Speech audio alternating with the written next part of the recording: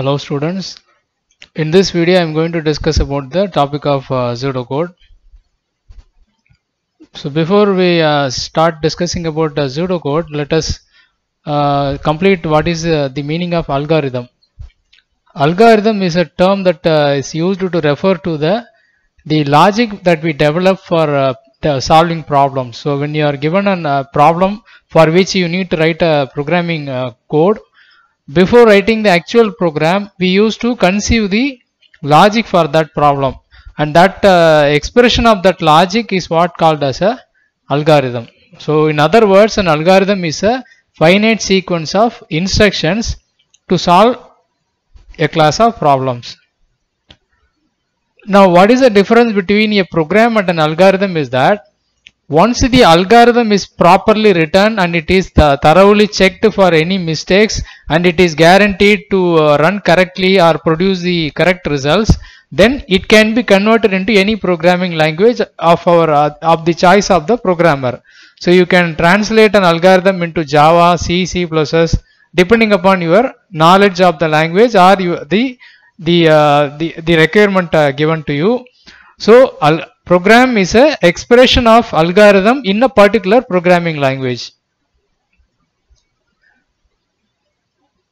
Now coming to pseudocode. So pseudocode, uh, I think let us first look at the the name itself, which conveys the uh, the meaning of the term. Uh, there are two words involved in it, pseudo and code. So the meaning of the word pseudo is uh, uh, something like uh, fake.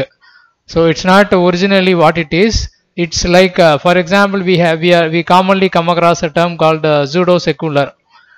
What do they uh, mean by that term? Is that they are not really seculars, but they are pretending like secular. So they call they, they are referred as pseudo secular. Similarly, when you say pseudo code, code is actually uh, programming code or source code. So when you use the word code and in the context of uh, computer programming, it refers to the program. So pseudo code means that it uh, it may appear like a program, but it is not really a program. It is just a algorithm. So a pseudo code is nothing but a standard for writing the algorithms. Because the problem is that uh, when uh, when you want to write an algorithm, uh, you can write it in your own words because it's just a matter of English. So you can express the algorithm without following any standard, and it is sufficient for your purpose.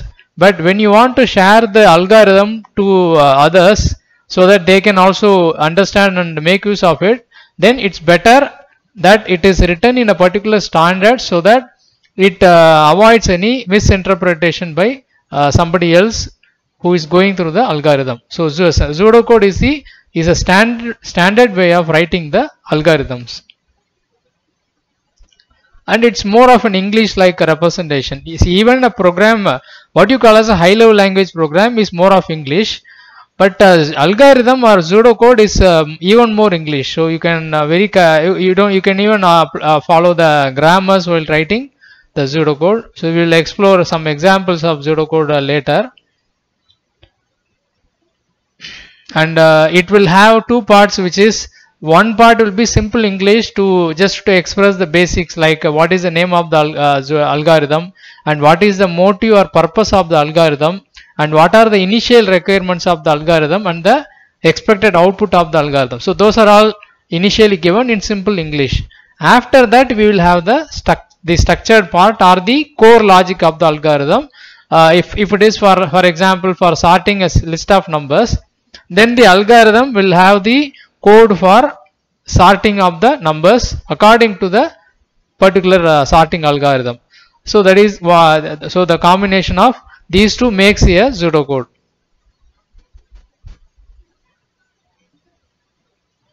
and uh, one more uh, uh, point regarding this is that the structured part or the core uh, logic of the algorithm will have three possibilities.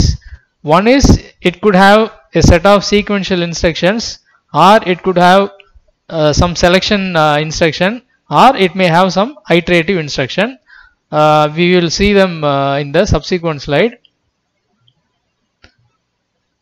and uh, another difference between a program and a pseudocode is that uh, there is no need of declaring any variables in the pseudocode because it's not really a programming language. So there is no memory allocation involved in an algorithm. So we can just use the uh, variables directly without uh, uh, declaring all the variables like we do in the programs. And uh, it is it is not even necessary to declare I mean mention the data types because the data types are also determined based on the context and the name in which uh, they have mentioned. For example if I write a program for uh, finding the average of marks of uh, a set of students then when I write the word total the meaning of the word is uh, I mean the data type of the word is inherent. Even though I don't I, I, I don't mention whether it is integer character or float it's easily recognized to be a integer. Similarly if I mention average then anybody can understand that it must be a, a, a floating point number so that is the, uh, the declaration uh, neither involves the declaration nor we have to mention the data type of the variables. We can just use them in the algorithms. But we have to declare the structure of the data where even though we don't need to declare the data types. The structure in the sense uh, what uh, see there are two types of uh, data we will be using. Simple data and complex data. Simple data means that integer a single value character again a single character. So in that case there is no difficulty we can just use them.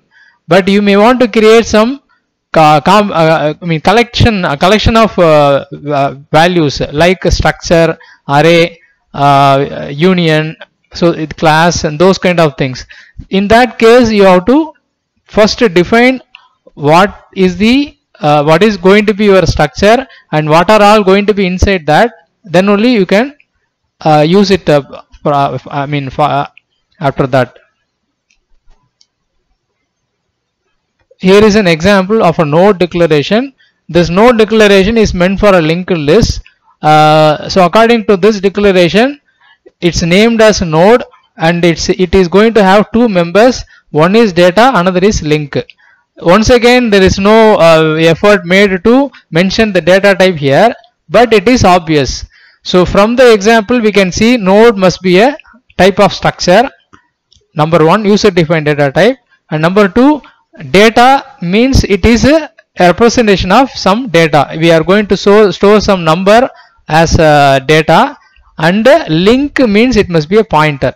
So these are uh, meanings which we can uh, understand just by the context.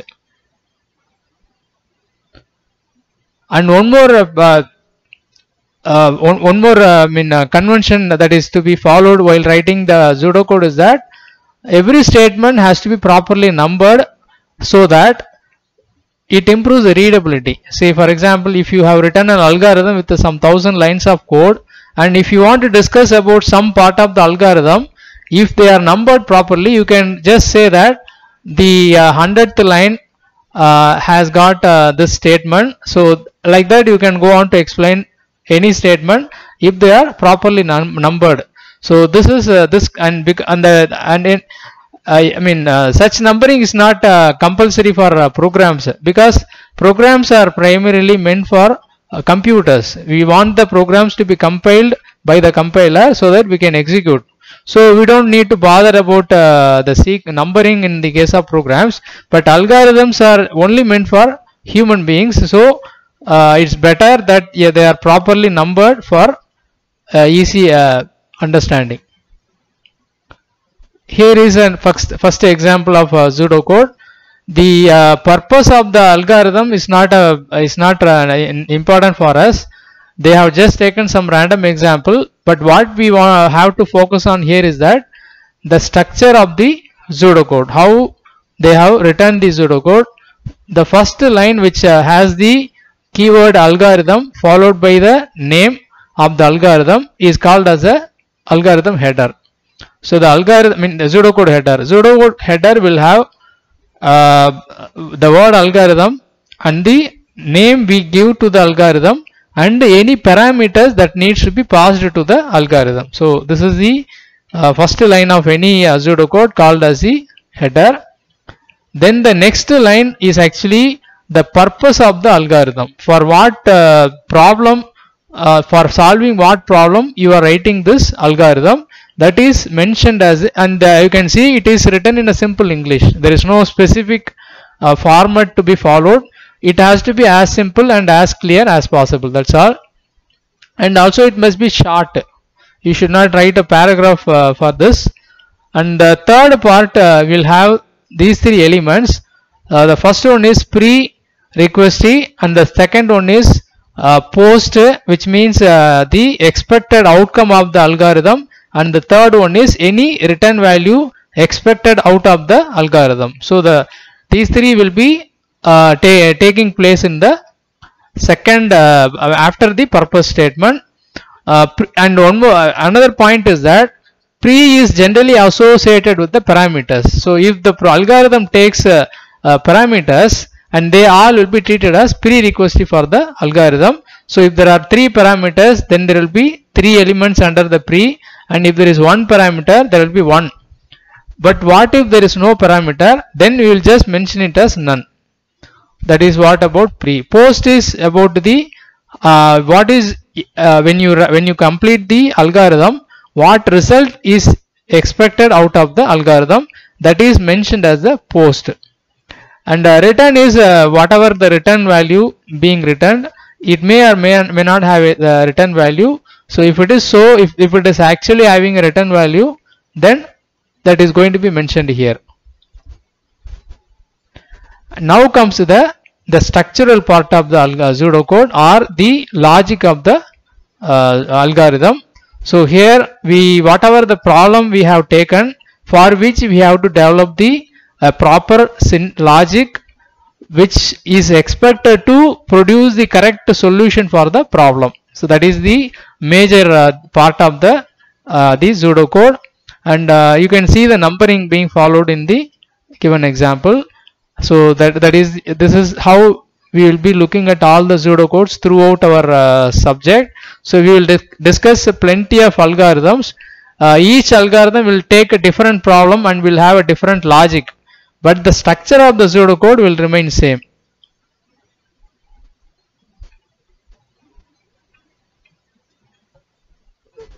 So whatever i explained in the previous slide are are uh, mentioned here. So there is an algorithm header and then there is a purpose conditions and return. Conditions uh, in the sense the precondition uh, or precursor requirements for the which are which are not which are typically the parameters. So if there are no preconditions as i said uh, we will be mentioning pre as nothing and post condition identifies any action taken and the status of any output parameters.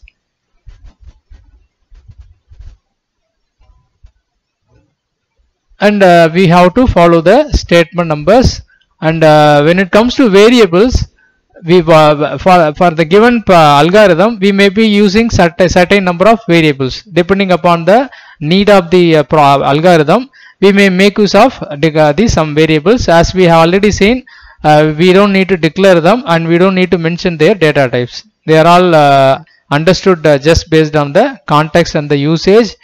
But it's very important that we give them proper names.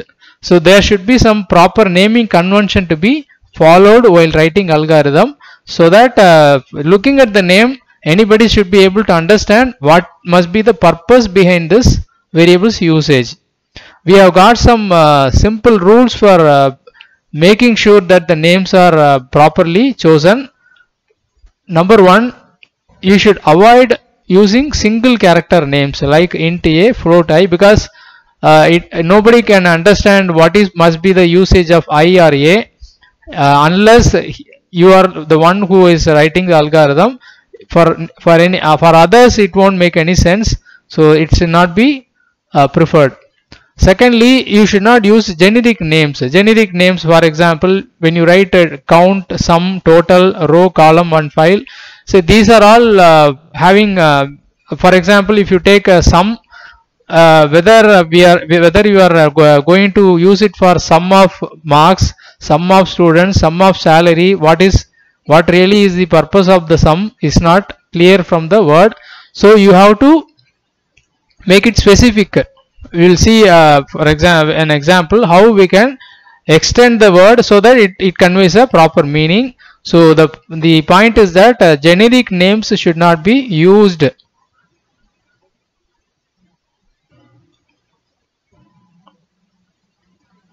So for example they have mentioned that you can instead you call call it as student count rather than mentioning just count you better make it student count or number of students so that uh, it's now uh, properly meaningful. And as an as a su- suggestion abbreviations can also be uh, treated as uh, intelligent uh, data names. Okay now we are going into uh, the the topic of statement constructs which we have already seen in the previous slides which is any algorithm logic of any algorithm will comprise of three possible uh, type of, types of statements. First one is sequential second one is selection and the third one is loop constructs. So we will just uh, explore the three types uh, now.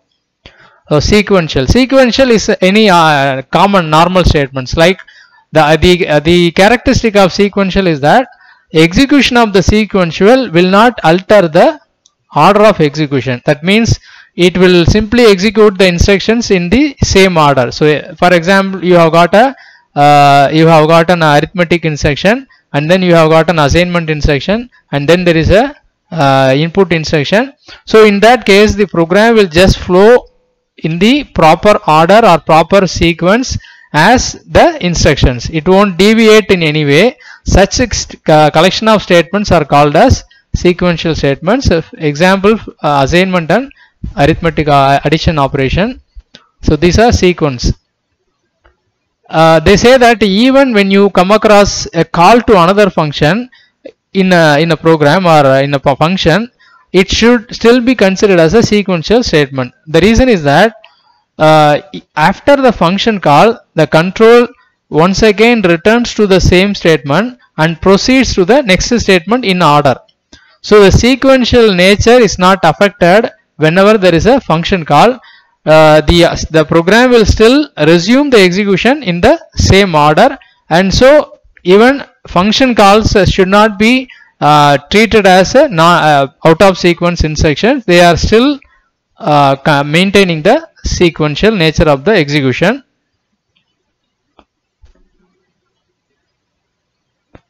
the next category of uh, say, statement is selection statement which is uh, nothing but a conditional statement. So say selection statement is more of a an if condition. So if the condition is true uh, so an, an action is uh, taken. If it is false some other action is taken. So there is a true part and false part. And depending upon uh, the result of the evaluation of the condition uh, one of the uh, part of the, the statement will be executed the third one is loop constructor. Loop is a, a repetition of uh, a block of code. So when some part of the program needs to be executed for uh, more than once then we will always be going for loops. So there are different types of loops available but all the loops have the characteristic is similar. There should be a condition for the loop and there should be uh, a number of iterations uh, to be a finite number of iterations should be there. And there should be a at some point of time the number of iterations must end. Because uh, such that the condition should not be forever true. So whatever the condition you are uh, uh, adding into that uh, uh, con- uh, loop uh, condition at some point of time it must go false or it must turn false. So there should be some statement which uh, uh, which makes a progression of the condition con- conditional variable uh, such that at some point of time the condition will turn into false. This is this condition has to be preserved across all types of loops whether it is while loop or do while loop or for loop. Uh, if you miss it then it will go into a infinite loop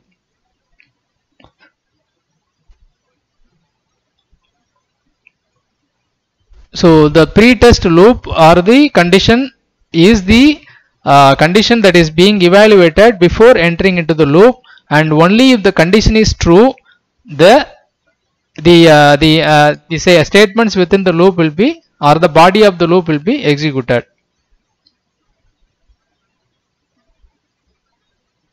Sometimes the loop uh, may be uh, I mean the condition may be false uh, in the first instance itself in that case the loop will not be executed at all. But uh, there is one type of loop uh, we have seen in uh, C programming called the do while loop where even if the condition is false the statements will be executed at least once. Because that is called as a, a post test loop or exit control to loop where the condition is evaluated after executing the loop once. But normally the condition is evaluated first and according to the result of the evaluation either the loop will be entered or the compiler will just uh, jump over the loop and will go into the next line following the loop. We have got another example of uh, the pseudo the pseudo code. Here the problem is uh, uh, finding the deviation from a mean the, the steps to be followed for implementing the algorithm are given uh, in this way which the, which we have to convert into a pseudocode uh, later. So the first statement is in this problem we must first read a series of numbers and calculate their average which is a simple task. You have to take input for a number of uh, I mean a set of numbers and then you have to calculate the average. So obviously you will uh, go for an array usage. So you will store all the numbers into the array and then you will cal- calculate the total of the numbers. And then by dividing the total by number of elements you can calculate the average. So you will be doing it. Then we have to subtract the mean from each number and print the number and its deviation. That's what uh, through that we will be calculating the deviation from the mean. At the end of the calculation we will print the results. That is this it's a simple uh, uh, example the, here the purpose is not really about how to finding a solution for the problem. It is just about how to write it in the pseudocode format.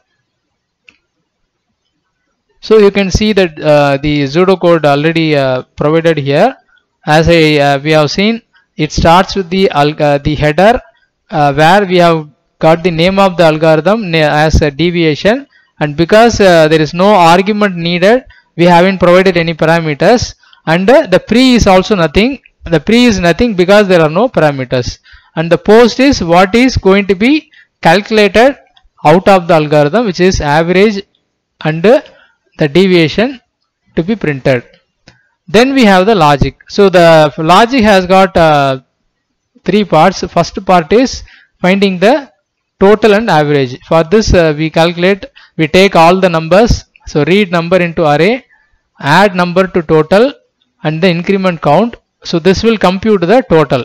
After that the next line will calculate the average by dividing total by count. Next we will uh, find the uh, deviation by subtracting the average from each one of the array elements and the final value is displayed as a result of the algorithm.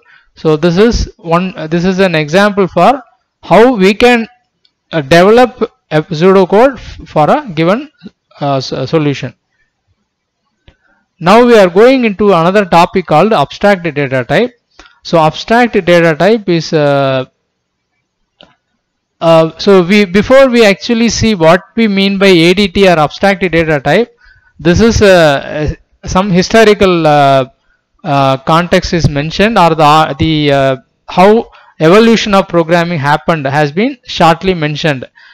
Uh, first of all, in the initial days of programming, there was no structured programming available.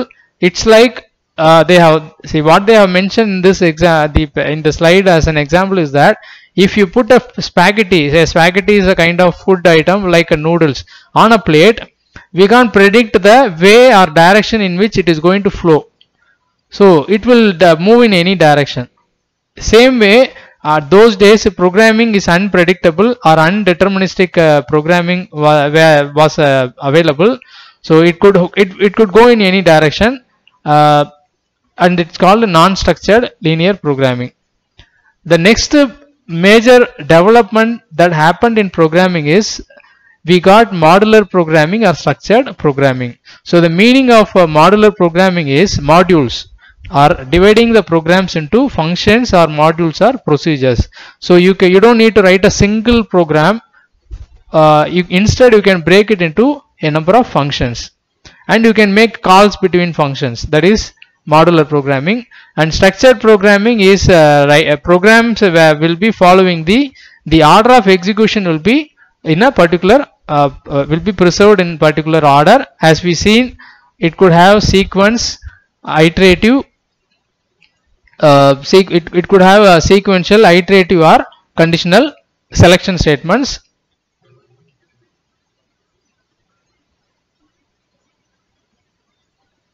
Now coming to ADT so ADT is the next stage which is uh, I think if I tell you one word you will easily recognize what is uh, all about ADT class and objects. So ADTs are nothing but object oriented or OOPs so now uh, the next stage of uh, uh, I mean uh, structured programming is we also have got a data hiding data encapsulation data abstraction introduced then it becomes ADT so the meaning of ADT is that ADT is creation of a class through which we can create objects. And what is an object? An object is collection of values which are secured and protected from uh, external interference and the only way by which uh, the uh, these private members can be accessed is, with the help of some public member uh, functions. And uh, for the uh, ordinary user he will only be exposed the usage of the purpose and usage of the ADT not the implementation details. This is the idea of abstraction.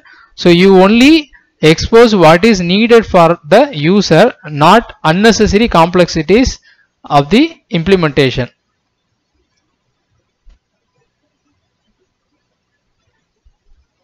So that is what uh, we are referring as abstract. It's uh, we, we it provides an impl implementation independent view.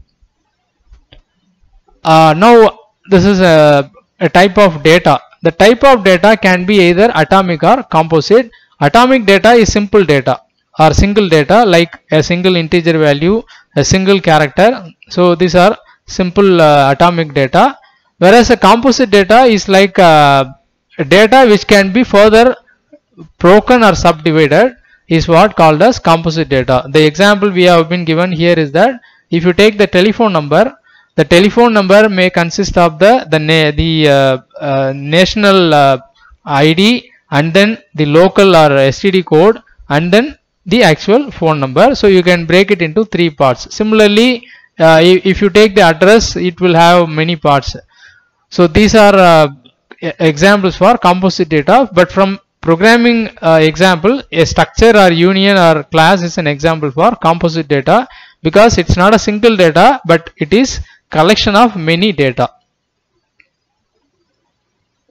next is, is data type data type is, i mean you are all familiar with uh, the usage of data types and also what data types are commonly available in most of the programming languages but how do you define a data type See basically a data type tells two things about a variable.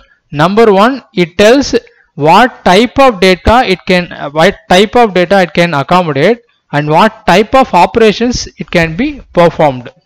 For example if you declare an integer variable what you are trying what it actually means is that it can only accommodate whole numbers it cannot take any real numbers and you can perform operations which are applicable to integers. For example, if you declare a floating point number and you try if you try to perform uh, modulo division it won't work because for uh, the data type of floating point does not support modulo division. So whenever variables are declared they convey two points regarding the variable. One is the type of value we can store in them and the I mean uh, it is also in indirectly it is also meaning uh, conveys the memory size. So when you say uh, type of value and the data type the memory size is uh, associated with that type and the second is operations. We have been given some uh, common examples like integer, float and character. Next is data structure. So a data structure is an aggregation of collection or uh, collection atomic and composite data. So we had seen the two types of possible data atomic and composite. A data structure is a combination of both of them and also any relationship between them is also expressed. For example, if you create a, a stack, uh, a stack is a data structure which has got both atomic and composite. The atomic part of a stack, stack is the values you store inside the stack elements. So you may be storing a number or you may be or you may be storing uh, characters or strings or something. So they are atomic. But the overall stack itself is a, a co- composite uh, and you will be using an array or structure to create a stack or even linked list. And also there will be some uh, set of rules uh, that uh, holds the data together. And it can there, there are even possible uh, i mean uh, possibilities for nesting data structures. The simple example is array of structures. So array is one structure data structure and structures is another data structure but uh, in c we have seen that it is possible to combine them by creating array of structures so nesting is also available uh, they have just differentiated two uh, data types called uh, I mean uh, data structures called array and record. Array is a homogeneous sequence of data. Homogeneous uh, in the sense either they are all integers or they are all characters or they are all floats. But record is a heterogeneous. For example, if you create a record of uh, students, then it will have roll number as integer, name as string, uh, and uh, mark mark as integer and so on so it will have different uh, types heterogeneous and also the uh, the elements are not uh, related uh, in an array. They are just coincidentally storing together. But in the record they are all closely related. And the next uh, these are other examples like uh, matrix linear list tree graph. So we will be exploring uh, some of these data structures in the later chapters this is already uh, mentioned. An abstract data type is a combination of data and the set of operations that can be performed on the data. Uh, you always uh, relate the uh, objects to ADT so that you will be able to recall the meaning quite easily. So it performs the encapsulation of data by the operations and so that the data gets hidden from the user this is a simple model of an ADT so what you see here is that this is the application program which want to access the ADT and the ADT is highly secured such that there is only one way that it can be accessed with the, which is with the help of the public functions. So this program cannot access this ADT in any other way other than accessing it through the public functions. And uh, through the public functions all these data can be uh, accessed in the way it's already pre-written or predetermined in the public functions. And there are there may also be private functions uh, just for some internal calculation of the uh, uh, given uh, situation. And uh, they are not exposed to the external other programs or non-member functions. Possible ADT operations are uh, you can you can uh, you can access you can enter you can modify or you can delete the values of a ADT and uh, all this can be done only with the help of public functions.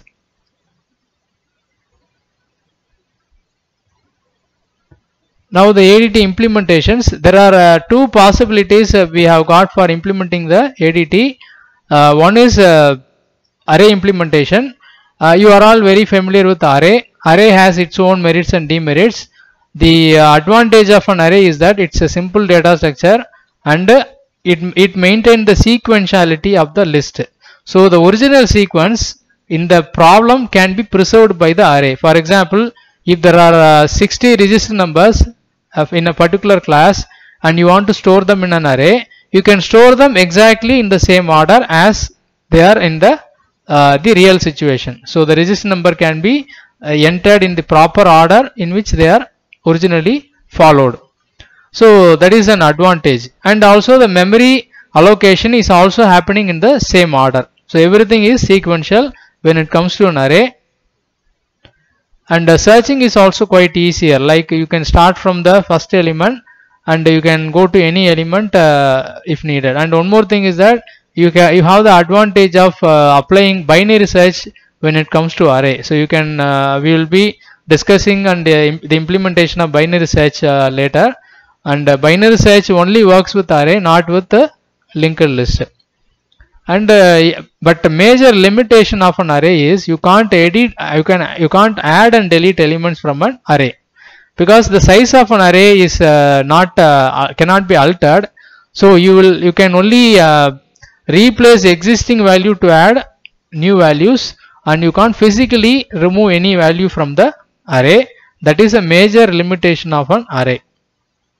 And because of this the array is not uh, widely uh, used in the uh, applications where there is a possibility of freak more frequent changes in the list of values. So when you when the list is likely to uh, increase and decrease more often then arrays are not suitable but if the size of the array is likely to be or the number of elements are likely to be uh, fixed then the best option is going for an array because it's uh, easier and uh, I mean the, the searching is also more efficient.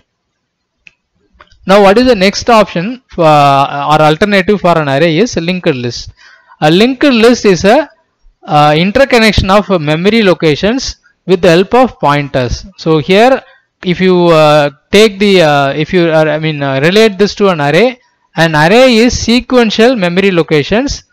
If you know the first address you can traverse in the entire array and you can access any of the elements in an array.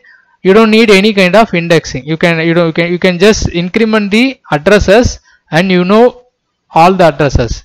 But in a linked list the elements are not following any order in the memory they are just scattered in the memory locations and as a result you can't move from one address into or one node into another node easily. For that you have to refer a pointer.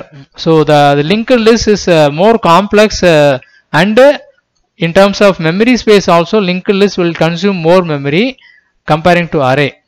But the advantage of uh, linked list is that it is dynamic and it can be uh, it can be extended or it can be uh, reduced. The number of elements can either be increased or decreased uh, at the at runtime with the when, whenever the, it is needed. And uh, I, I pointed out that uh, when, when you want to move from uh, node 1 to node 2 there is no clue available because it's not following the proper sequence. So what needs to be done is that the first node must have the or must hold the address of the second node. Only then it is possible to traverse in a linked list. So this is what is mentioned here. Every node will have the address of the next node and it is called as a link field. So there will be a link field in each of the uh, linked list node which will be pointing to the next node. So we are basically creating a chain of uh, nodes and this is actually the drawback of linked list if you want to store a data in a node then you have to spend an additional memory space for storing the address of the next node. So there will always be more memory uh, needed for creating a linked list comparing to a array.